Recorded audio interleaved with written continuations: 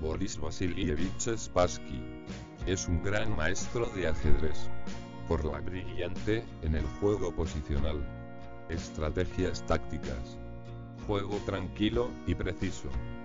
Ganó el campeonato soviético de ajedrez en 1961. Fue candidato al Campeonato Mundial de Ajedrez en 1965 y 1968 disputó por el Campeonato Mundial de Ajedrez. Perdió ante Tigran Petrosian en 1966 y lo derrotó en 1969.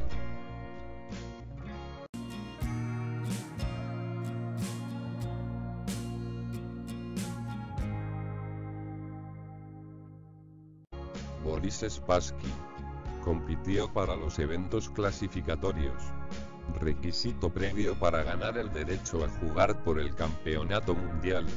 Pero no estuvo en el mejor nivel. Y sin poder avanzar a los internacionales de 1958 y 1962. Se sumó a la crisis, la dura relación del primer matrimonio, posteriormente el divorcio en 1961, y la separación con el entrenador Alexander Toulouse en la serie 24 de la final del campeonato soviético disputado en Moscú. Entre enero y febrero de 1957. Spassky compartió el cuarto puesto con Alexander Toulouse. Al conseguir 13 de 21 puntos. Y el vencedor del certamen fue Mikhail Tal, al conseguir el primero de sus seis títulos soviéticos comenzando el ascenso por el título mundial en 1960. El fracaso del señor Spassky para clasificarse para el Interzonal de Portorot fue notorio en la última ronda, al ser derrotado por Mikhail Tal, al dejar relucir los nervios. En el Campeonato Soviético de 1958, celebrado en Riga. Spassky tuvo la ventaja durante gran parte de la partida. La victoria lo clasificaría para el interzonal, pero después del aplazamiento falló en una jugada difícil que le daría la victoria. Luego rechazó las tablas, teniendo en cuenta que el empate le aseguraba el cuarto lugar compartido con Yuri Agarbak, con la posibilidad de una clasificación a través del desempate. En 1959, en el Campeonato de Moscú, Spassky empató en el primer lugar con Vasily Smyslov y David Bronstein con 7 de 11 puntos. En la serie 26 del campeonato final soviético, compartió el segundo lugar con Mikhail Tal. Y en Tiflis, terminó un punto detrás del campeón Tigran Petrosian, con 12 puntos y medio de 19. Para ese mismo año, Spassky ganó el torneo en Riga, con 11 puntos y medio de 13. Por delante de Vladas Mikenas. En la serie 27 del campeonato final soviético, realizado en Leningrado. Spassky terminó con un empate en el noveno lugar con 10 de 19 puntos. Mientras que Víctor Korchnoi obtuvo el primer título soviético de 4. En 1960, en Mar del Plata, Spassky compartió el primer lugar con Bobby Fischer, con 13 puntos y medio de 15, por delante del gran maestro David Bronstein. En la séptima Olimpiada Estudiantil celebrada en Leningrado, Spassky jugó en el primer tablero para la Unión Soviética, pero perdió el oro ante William Lombardi, quedándose con la plata en la fase de clasificación para el Interzonal, disputada en Moscú, en 1961. Spassky se decepcionó porque perdió en la última ronda una partida crucial ante Leonid Stein, que se clasificó. Y Spassky terminó en quinto lugar con 11 de 19 puntos, mientras que Tigran Petrosian alzó el título.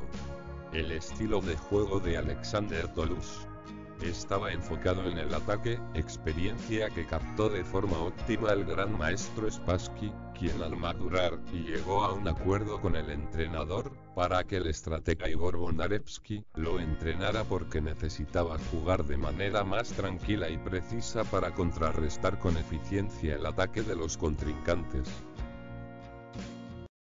acertó de manera clave, fomentando el inicio del resurgimiento. En el Campeonato Soviético, número 29 celebrado en Bakú, en 1961. Spassky ganó el primero de los dos títulos de la Unión Soviética, con una puntuación de 14 puntos y medio de 20, por delante de Lev Polugaevsky.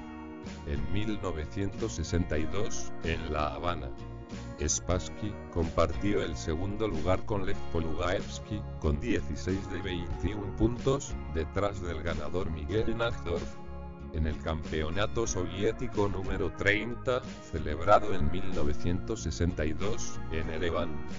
Quedó quinto junto a Leonid Stein, con 11 puntos y medio de 19.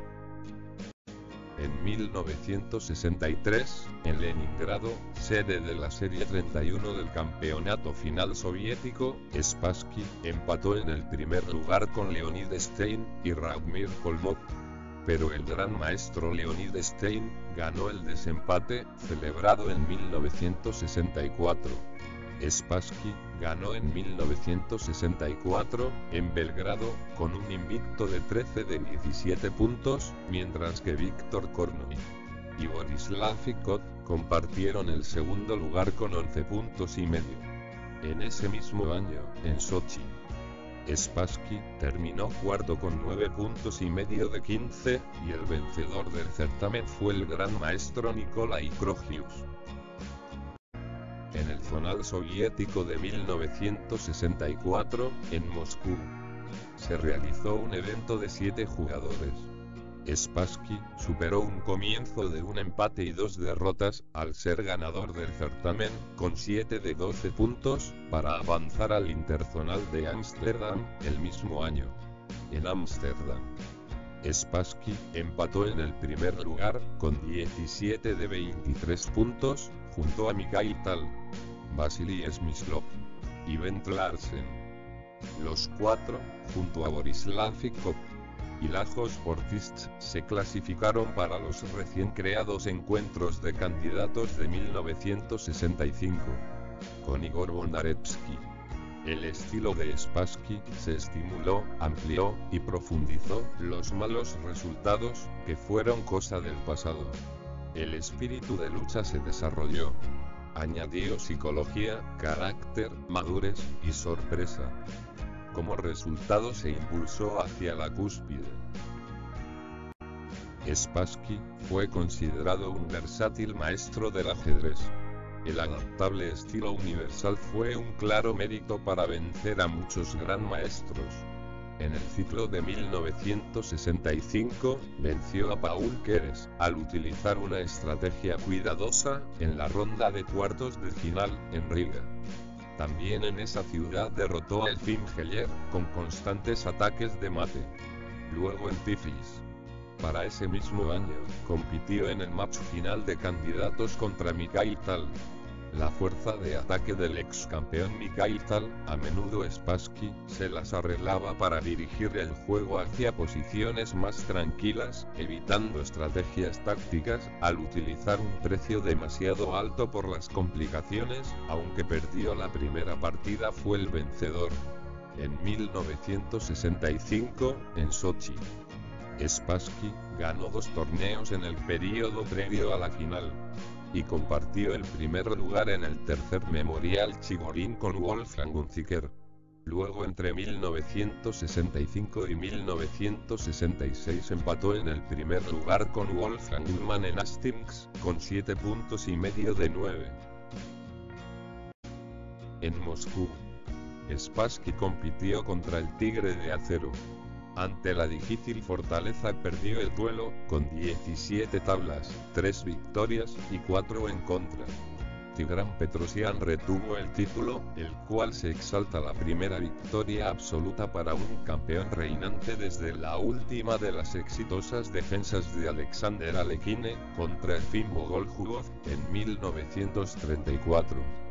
El primer evento de Spassky después de la lucha por el título mundial, fue el cuarto Memorial Chigorin, donde terminó empatado en el quinto lugar con Anatoly Lane, y quien ganó el certamen fue Víctor Kornoy. en 1966 en Santa Mónica. Spassky terminó por delante de Tigran Petrosian en la Copa Piatigorsky con un resultado de 11 puntos y medios de 18.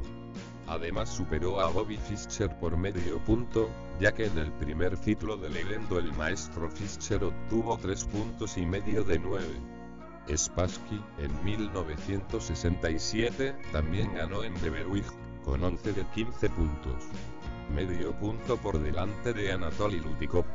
Y para ese mismo año, en Sochi, compartió el primer lugar con Nikolai Krogius, Alexander Zaitsev, Leonid Shankovich y Vladimir Simagin, al anotar 10 de 15 puntos. Al estar en la final del Campeonato Mundial de 1966, fue automáticamente vinculado en el siguiente ciclo de candidatos. Spassky, en 1968, se enfrentó a Elfim Heller en Sujumi y volvió a ganar. Luego se enfrentó a Ben Larsen en Malmo y nuevamente fue el vencedor. La final del ciclo de candidatos, en Kiev, fue contra Víctor Kornuy. Siendo el vencedor, validó el encuentro con Tigran Petrosian. La última aparición de Spassky en el torneo antes del partido se produjo en Palma, donde compartió el segundo lugar con Ben Larsen. Un punto por detrás de Víctor Kornuy. La flexibilidad del estilo de Spassky fue la clave de la victoria sobre Tigran Petrosian, por 12 puntos y medio de 10 puntos y medio. Gracias por ver el video completo. Suscríbete al canal. Tu opinión es importante. Me gustaría escucharte en los comentarios. Toca la campanita para seguir al tanto de información vital para el desarrollo mental. Y dale me gusta. Nos vemos en los siguientes videos.